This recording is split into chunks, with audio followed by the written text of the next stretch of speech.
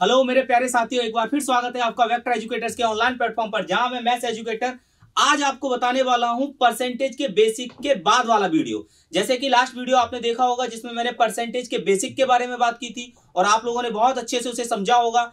उसके बाद हम लोग लेकर आने वाले हैं, उसके नेक्स्ट वीडियो इसी तरीके से आपकी परसेंटेज की सीरीज़ आने वाली है। जिसमें मैं आपको परसेंटेज के वो सारे कॉन्सेप्ट बताऊँगा, जिसकी ज़रूरत आपको एग्जामिनेशन हॉल में होती है, जहाँ पर बैठ के आप क्वेश्चन में उन कॉन्सेप्ट का यूज़ करके सारे परसेंटेज के क्वेश्चन को हल कर सकते हो। तो देखते हैं आपके सामने जैसे बोर्ड पे लिखा हुआ है, पहला क्वेश्चन जिसके अंदर लिखा हुआ है 65 gram is what percent of 2 KG यानी कि 65 gram is what percent of 2 KG जैसे कि लास्ट वीडियो में मैंने आपको बताया था कि जहाँ भी आपको, जहाँ भी आपको ऑफ़ देन और टू ये तीन आपको लिखे हुए दिख जाए, समझ लो इनके पास लिखी हुई वैल्यू आपकी डिनोमिनेटर में जाने वाली है। इसका मतलब क्या हुआ कि उससे मुझे कंपेयर करना है यहाँ पे। जैसे कि 65 ग्राम को यहाँ पर 2 केजी के साथ कंपेयर करना है और मुझे बताना है कि कितना परसेंटेज उसका आंसर आएगा। तो देखिए सिंपल तरीके से इसको हम सॉल्व करने की कोशिश करते हैं। और जैसे कि मैंने देखा कि 2 केजी हमारा अपॉन में आ जाएगा। 65 को कंपेयर करना है। लेकिन समस्या यहाँ पर यह है कि ऊपर ग्राम लिखा हुआ है, नीचे केजी लिखा हुआ है। परसेंटेज और रेशियो में बनाते समय एक चीज़ का हमेशा याद रखना है आप लोगों को कि ग्राम और केजी जैसे यहाँ पर यूनिट हमारी सेम नहीं है तो इसको यूनिट को सेम बनाना है। या तो ग्राम को केजी में कन्वर्ट करो, या फिर केजी को ग्राम में कन्वर्ट करो। तो मैं केजी को ग्राम में कन्वर्ट कर देता हूँ तो यहाँ पर मल्टीप्लाई कर दिया मैंने कितने का बच्चे? एक हज़ार तो ये हमारा ग्राम हो गया और ऊपर वाला भी हमारा ग्राम। इनटू मैंने कितना कर दिया? हंड्रेड तो परसेंटेज में हमारा आंसर निकल के आ जाएगा। ठीक है? अब आप लोग देखिए यहाँ पर जैसे कि दो ज़ीरो से ये दो ज़ीरो कैंसिल आउट हो गए हमारे। यहाँ से बचा हमारा कितना? बीस और ऊपर पैंसठ तो पैंसठ यहाँ पर बचा और नीचे बचा हमारा ट्वेंटी और परसेंटेज का साइन लग गया। फाइव से कैंसिल करते हैं तो ये हमारा थर्टीन आ जाएगा और नीचे फोर तो थर्टीन बाई फोर परसेंट कितना आ गया answer thirteen by four percent यानी कि मुझे पता चल गया कि इसका आंसर कौन सा होगा? ए कौन सा आंसर होगा? ए आंसर होगा इसका। समझ में आई? तो यहाँ पर आपको सीखने को क्या मिला? सीखने को यह मिला कि अगर कहीं भी आपको इस तरीके की लैंग्वेज मिल जाए, जहाँ पर यह लिखा हो कि व्हाट परसेंट ऑफ़ तो ऑफ़ जहाँ भी लिखा होगा तो समझ लो उसके बाद वाली वैल्यू से ही मुझे कंपेयर करना है उसके पहले वाली वैल्यू को। ठीक है? चलिए, अब हम लोग नेक्स्ट वीडियो नेक्स्ट क्वेश्चन देखते हैं नेक्स्ट क्वेश्चन में हमारा लिखा हुआ है क्या? One hours forty five minute कितना लिखा हुआ है? One hours forty five minute is what percent of one day अब ऑफ़ किसके पास लगा हुआ है यहाँ पर? यहाँ पर ऑफ़ लगा हुआ है वन डे और वन डे में कितने आवर्स होते हैं? ट्वेंटी फोर आवर्स होते हैं. लेकिन यहाँ पर देखिएगा आप लोग, यहाँ पर ये मिनट है और ये आवर्स है. तो इसको आप मिनट में कन्वर्ट कर दो टोटल और वन डे को यानी कि एक दिन को भी मिनट में कन्वर्ट कर दो. तो फिर बड़े आसानी से आप क्या निकाल सकते हो? परसेंटेज क्योंकि अगर आपको कभी भी परसेंटेज निकालना है तो आपको यूनिट सेम करनी पड़ेगी, जैसा कि मैं आपको बता रहा हूँ बार बार अब ऊपर देखिए one hours forty five minute का मतलब कितना हो गया हमारा? 105 मिनट ठीक है? डिवाइड कितने से करेंगे हम लोग? डिवाइड करेंगे हम वन डे से। वन डे का मतलब 24 फोर आवर्स इंटू सिक्सटी कर देंगे तो यह मिनट बन जाएगा। तो ये भी हमारा क्या बन गया? मिनट बन गया। इंटू हंड्रेड कर देंगे तो क्या साइन लग जाएगा? परसेंटेज का साइन लग जाएगा। कितना? परसेंटेज बन गया।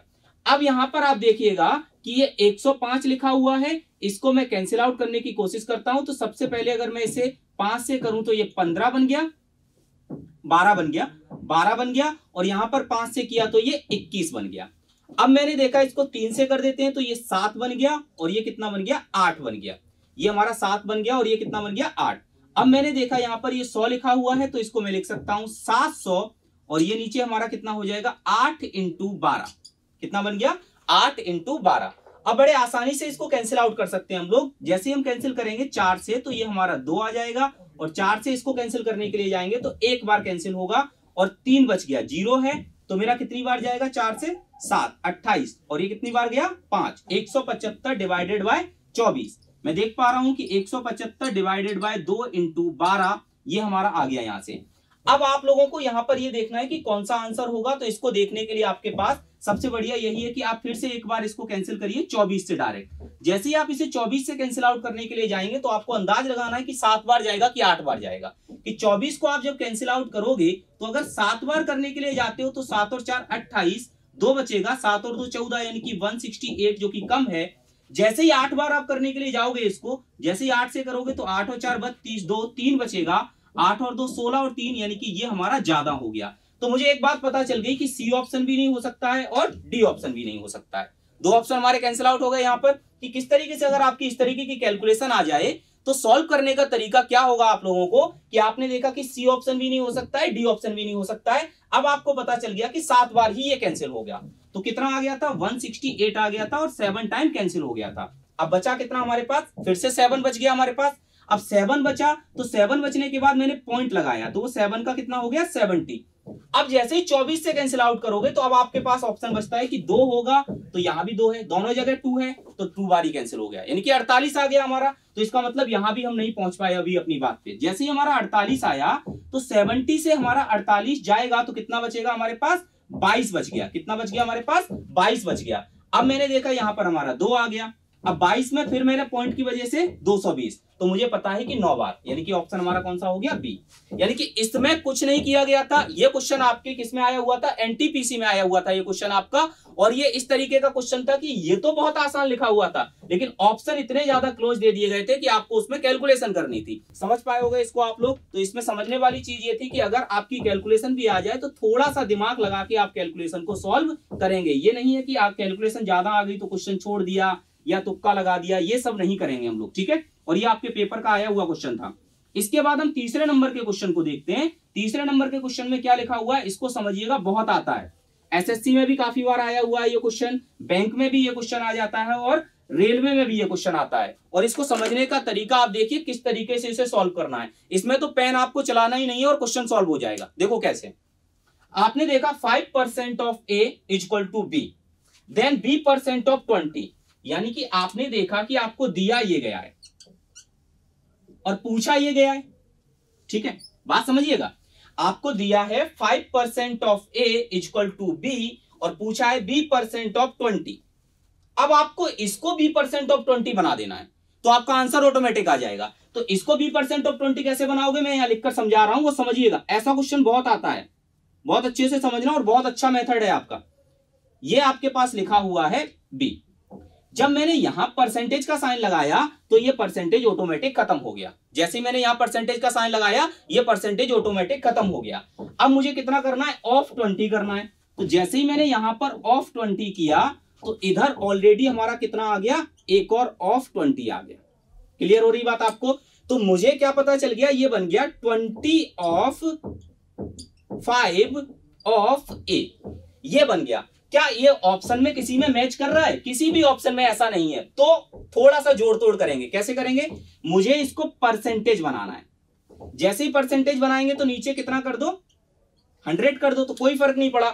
ऊपर परसेंटेज का साइन लगा दिया, नीचे हंड्रेड कर दिया, कोई भी फ़र्क नहीं पड़ा तो ये वाला परसेंटेज बन गया। अब पाँच से इसको कैंसिल करोगे तो कितनी बार गया? ट्वेंटी अब आप बड़ी, अपनी मन की आँखों से इसको देखने की कोशिश करो तो आपको ऑप्शन इसमें साफ़ साफ़ दिखाई दे जाएगा। कौन सा? डी तो कौन सा हो गया? Twenty percent is equal to A upon twenty समझ में आ गई बात आपको? अब इस चीज़ को हम माइंड कैलकुलेशन से भी कर सकते थे, इतना लिखने की भी आपको कोई ज़रूरत नहीं थी। और आप लोग इसको बहुत अच्छे से समझना, ये क्वेश्चन बहुत आता है, ठीक है? इसके बाद हम नेक्स्ट क्वेश्चन को देखते हैं और नेक्स्ट क्वेश्चन देखने की कोशिश करते हैं। चलिए फिर आगे के क्वेश्चन हम लोग देखते हैं। आगे हमारे पास ये क्वेश्चन बोर्ड पे आप लिखे, हमने लिखे हुए हैं, आप इनको देखिएगा और इनको करने की कोशिश करते हैं। तो जिस तरीके से आपको पता है कि हम आपको क्या पढ़ा रहे हैं परसेंटेज पढ़ा रहे हैं और तीन क्वेश्चन मैं आपको करा चुका हूँ, चार, पाँच, छह ये सामने लिखे हुए हैं, ठीक है? वीडियो को पॉज करिए और करने की कोशिश करना है इसको, खुद करने की कोशिश करो, जितना खुद करोगे, उतना ज़्यादा क्लियर होगा आपके सामने। उसके बाद मैं आपको कराऊँगा तो अच्छे से समझ में आएगा। चलिए वीडियो पॉज करना और खुद करने की कोशिश करना, मैं आपको क्वेश्चन सॉल्व करा रहा हूँ देखिए, पहला क्वेश्चन आप देखिए, चौथा नंबर का क्वेश्चन लिखा हुआ है और जैसा कि मैंने तीसरा क्वेश्चन कराया था, उसी तरीके का एकदम क्वेश्चन है और उसी तरीके से इसको सॉल्व करने की कोशिश करेंगे। आपके सामने लिखा हुआ है two percent of A, two percent of A is equal to B.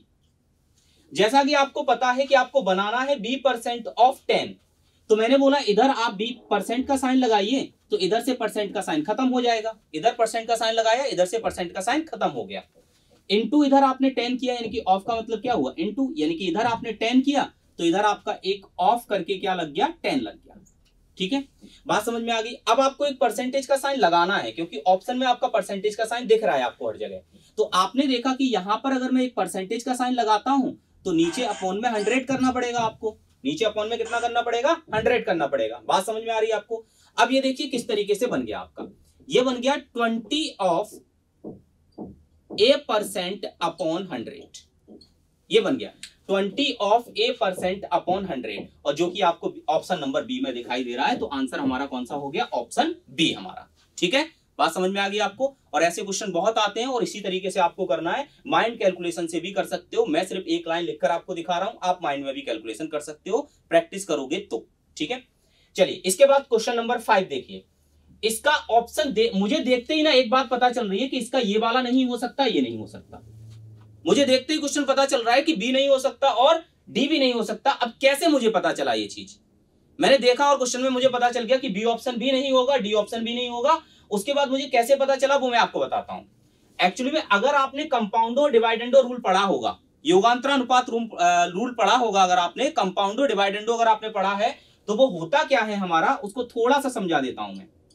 जैसे A plus B upon A minus B बराबर अगर आपका लिखा हुआ है यहाँ पर थ्री और यहाँ पर ले लेते हैं आप फाइव और यहाँ टू अगर ये लिखा हुआ है तो एक बार तो ऊपर वाले को बेस मान के जोड़ दो। तो जैसे ही जोड़ोगे तो बी से बी खत्म हो जाएगा। तो यहाँ कितना बनेगा? टू ए एक बार इनको क्या कर दो? माइनस कर दो। तो ए से ए खत्म हो जाएगा। तो क्या बनेगा? टू बी एक बार ये पाँच और दो जुड़ जाएगा, सात। और एक बार पाँच में से माइनस दो हो जाएगा तो तीन। तो दो से दो खत्म हो गया। तो ए अपॉन बी कितना आ गया? हमारा सेवन और थ्री आ गया।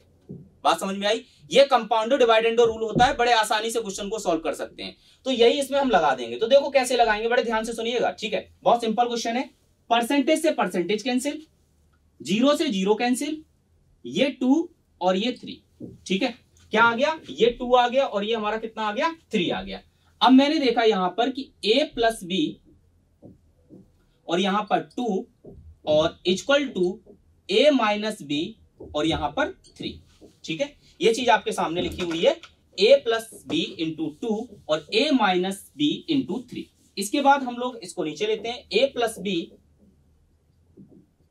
upon A minus B equal to three upon two कितना आ गया? थ्री अपॉन टू तो यहाँ से मैंने जब इसको कंपाउंडेड डिवाइडेंडो लगाया तो ये हमारा बनेगा two A upon two B equal to यहाँ से तीन और दो कितना हो गया? पाँच। और तीन माइनस दो कितना हो गया? एक। तो ये दो से दो कैंसिल हो गया तो A upon B equal to आ गया फाइव अपॉन ए। कितना आ गया? Five upon A. और जैसे ही फाइव अपॉन ए का सम करोगे नीचे तो नीचे कितना बनेगा? सिक्स बनेगा। सेवन का तो बनने का कोई सवाल ही नहीं उठता। तो इसलिए मैंने माइंड कैलकुलेशन करके ये बता दिया था कि ऑप्शन बी और ऑप्शन डी हमारा आंसर हो ही नहीं सकता। ठीक है? तो बात समझ में आ गई? ए और बी कितना आ गया? फाइव अपॉन वन आ गया। अब उस, उठा के इस वाले में वैल्यू पुट कर देते हैं। तो आंसर हमारा निकल के आ जाएगा। अब कैसे पुट कर देते हैं वैल्यू? देखिए। मैंने देखा कि टू ए लिखा हुआ है तो पाँच लग दिया तो यहाँ पर दस हो गया। माइनस थ्री भी लिखा हुआ है तो यहाँ पर कितना हो गया? थ्री हो गया। और नीचे हमारा कितना आ गया? फाइव प्लस वन, यानी कि ये हमारा कितना बन गया? Seven upon six. कितना बन गया बच्चों? Seven upon six. तो आपको समझ में आ गया होगा किस तरीके से हमारा आंसर कितना हो गया? सेवन अपॉन सिक्स हमारा आंसर हो गया। इसके बाद क्वेश्चन नंबर सिक्स पे चलते हैं और क्वेश्चन नंबर सिक्स हमने देखा और देखते ही हम आपको समझ में आ जाएगा कि जेड परसेंट ऑफ़ बी लिखा हुआ है। इसका मतलब ये हुआ कि बी तो ऑप्शन में ऊपर होगा ही नहीं तो ये वाला ऑप्शन हमारा नहीं हो सकता। और ये वाला ऑप्शन हमारा नहीं हो सकता। ये आपके कोई मेरे बनाए हुए ऑप्शन नहीं है। ये आपके सारे एग्जामिनेशन में आए हुए हैं। एग्ज़ाम के अंदर जो क्वेश्चन हैं, उन्हीं में से मैंने उठाए हैं। आपने देखा कि यहाँ पर अगर जेड परसेंट ऑफ़ बी लिखा हुआ है तो डी वाला ऑप्शन हमारा आंसर नहीं हो सकता, ए वाला हमारा आंसर नहीं हो सकता। ऐसा क्यों? क्योंकि यहाँ पर हमारा बी ऊपर आ रहा है। क्लियर है बात आपको? अब सॉल्व कैसे करेंगे? इसको समझते हैं। सॉल्व कैसे किया जाएगा? वो समझने की कोशिश करते हैं। देखिए, जैसे लिखा हुआ है X percent of A equal to Y percent of B then Z percent of B each तो मैंने देखा यहाँ से, मैं अगर बी की वैल्यू को यहाँ से उठा लूँ और यहाँ पर पुट कर दूँ तो हमारा आंसर आ जाएगा। तो बी की वैल्यू क्या बनेगी हमारी? बी की वैल्यू हमारी बनेगी X percent into A upon Y X percent into A upon Y इसको उठा के कहाँ रख देंगे? बी की जगह रख देंगे। तो वहाँ पर क्या बन जाएगा हमारा? Z percent into X percent into A upon Y तो इंटू लगाओ या ना लगाओ, कोई फ़र्क नहीं पड़ता। तो ये हमारा क्या बन गया? Z percent, X percent, A upon Y तो आप ये चीज़ देखिएगा यहाँ से कि ये बाई परसेंट है। ये भी कितना है हमारा, बाई परसेंट है। तो इस तरीके से जब मैंने देखा तो जेड, एक्स, ए और बाई कहाँ दिख रहा है? तो ये देखो, ये दिख रहा है आपको। Z, X Y upon A और यहाँ से एक परसेंट से एक परसेंट कैंसिल हो गया और एक परसेंट हटेगा तो नीचे कितना आ जाएगा? सौ आ जाएगा। कितना आ जाएगा? सौ आ जाएगा। तो ऑप्शन कौन सा हो गया हमारा? बी हो ऑप्शन कौन सा हो गया? बी हो गया। समझ में आई बात आपको? तो इतना तो आपको थोड़ा सा दिमाग लगाना पड़ेगा कि आपको यहाँ सीधा दिख रहा है कि बी मुझे हटाना है और जब बी मुझे हटाना ही है तो ऑप्शन के अंदर बी तो हमारा न्यूमरेटर के अंदर आ नहीं सकता। और आपने देखा कि ऑप्शन ए लिखा हुआ है, उसके अंदर भी बी है ऊपर। ऑप्शन डी लिखा हुआ है, उसके अंदर भी बी है ऊपर तो ये दो ऑप्शन तो हमारे हो ही नहीं सकते हैं। तो सी और डी में से बी और सी में से ही हमारा कोई ना कोई ऑप्शन होगा सही। तो उसके बाद मैंने देखा, इसको सॉल्व किया तो मुझे समझ में आ गया कि नीचे हमारा क्या आने वाला है, नीचे हमारा बाई आने वाला है। ये चीज़ भी आपके दिमाग में क्लिक यहीं से कर जाएगी। तो ऑप्शन हमारा कौन सा हो गया? ऑप्शन बी हमारा आंसर हो गया। क्लियर है आपको? ठीक है, समझ में आ रहा होगा? चलिए इसके बाद हम नेक्स्ट क्वेश्चन के साथ अगले वीडियो में आपको मिलेंगे और अगले वीडियो में मैं आपको बताऊँगा और उस उस वीडियो में आपको थोड़े से अच्छे लेवल के क्वेश्चन मिलेंगे तो उस वीडियो को ज़रूर देखें और आपके कॉन्सेप्ट और अच्छे से क्लियर होंगे। तो बने रहिए, अगर वीडियो आपको बहुत अच्छे से पसंद आया है तो इसे शेयर करिए लाइक करिए और सब्सक्राइब करना बिल्कुल ना भूलें, जिससे कि आपको वीडियो मिलते रहेंगे और आप अच्छे कॉन्सेप्ट के साथ पेपर में जा सकेंगे और अपना सिलेक्शन ले सकेंगे। Thank you so much